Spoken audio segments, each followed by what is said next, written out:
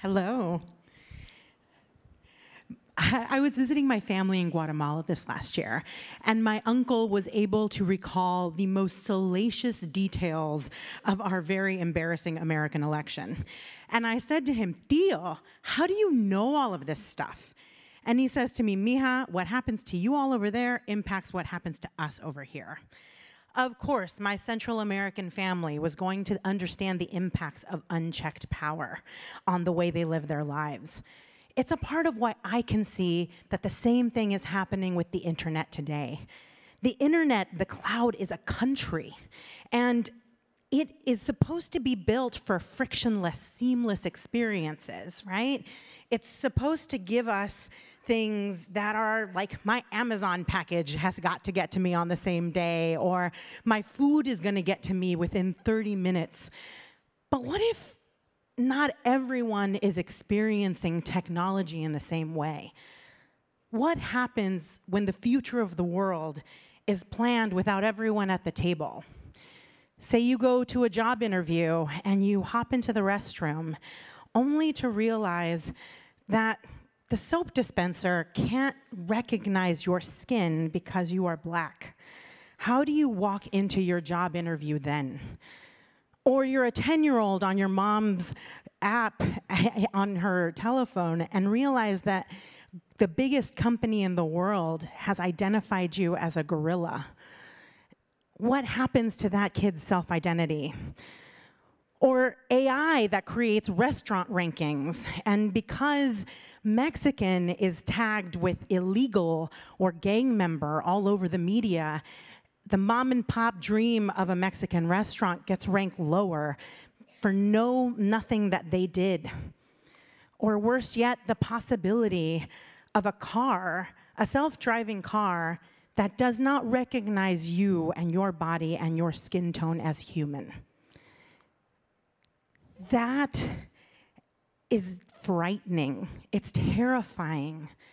We are told that innovation is good, but as you can see, when not everyone is at the table, there can be really toxic outcomes and impacts for so many of us. The good news is that the Black and Latinx communities are ready. We are 20% of all computer science degree graduates. By the time we hit the decade 2040, we will be 40% of the US population. But we are only 5% of technical employees. The future of work is the future of tech. And the future of tech is the future of the world. And that must, must, must be a world that is integrated. The great thing is, never has the morally aligned thing been such the profitably aligned thing. Racially and ethnically diverse companies outperform their competitors by 33%. So let's think about that question from the other end. What happens when the future of the world is planned with everyone at the table? Can you picture what that might be like? How our experiences as a collective community might be different? Well, we do not have to wait for the fictional world of Wakanda to understand what a world would look like if it was inclusive. I believe our imaginations can get us there now we are so used to seeing the world as it has been. Often, we don't see the world as what it could be.